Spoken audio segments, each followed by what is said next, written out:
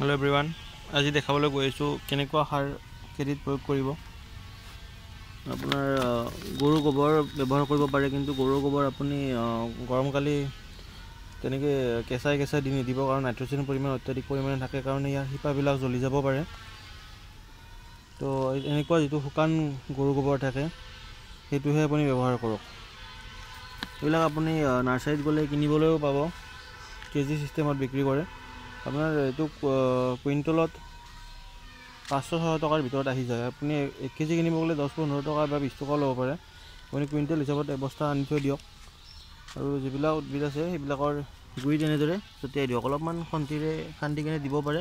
বা এনেকৈ দিলেও হৈ যাব। কাৰণ আপোনাৰ বৰষুণৰ পানী ইয়াৰ লগ- লাগতিয়াল বস্তুবিলাক ভিতৰলৈকে শিপা যোগান ধৰিব পাৰে। কিন্তু আপুনি গৰমত কালি কেতিয়াও কেঁচা গোবৰ ব্যৱহাৰ নকৰিব। কেঁচা গোবৰ ঠাণ্ডা কালিও ব্যৱহাৰ নকৰিব বাট কিন্তু কেঁচ- ঠাণ্ডা কালি কৰিলেও আপোনাৰ বেছি লছ নাই। কিন্তু গৰমৰ দিনত যদি কৰে মৰি যাব মৰি যোৱাৰ সম্ভাৱনা বেছি। আপুনি চাব খেতিয়কসকলেও এনেকুৱা শুকান গোবৰহে বেছিকৈ ব্যৱহাৰ কৰে।